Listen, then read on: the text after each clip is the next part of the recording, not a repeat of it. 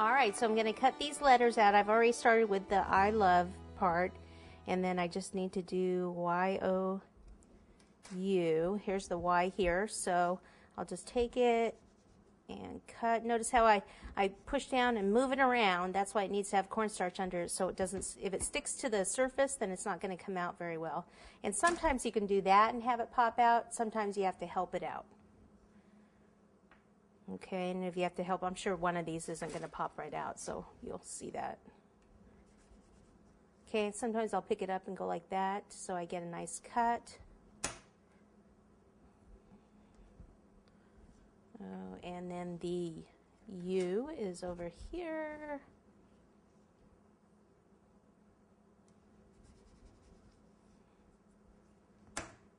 See, that one didn't come out all the way, so what I'll do is help it out on this side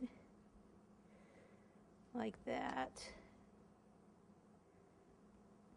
Sometimes you have to do it a second time if you stretch it too much, but I think that worked out. There we go, Y-O-U.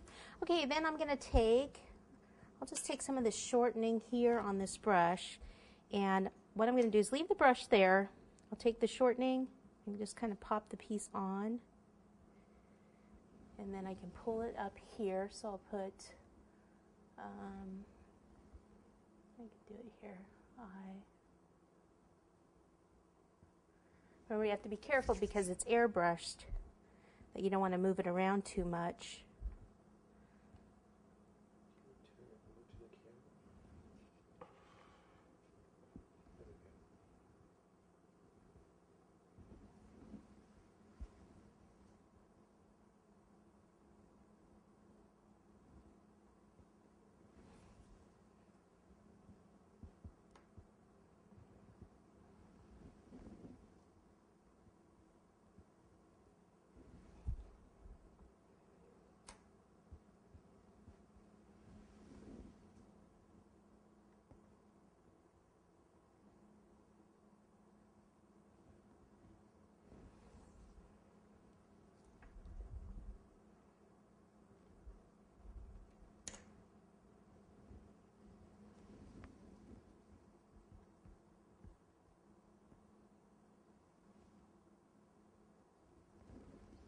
Turn it just for a second. Okay.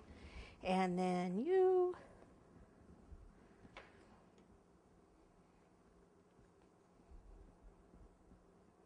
This one's really skinny, this U here, so hopefully it won't break on me.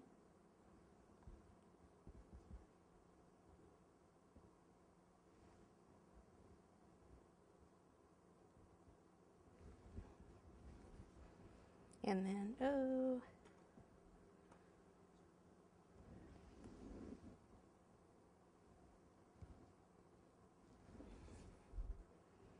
Okay, and then the last thing that I didn't cut is the exclamation point.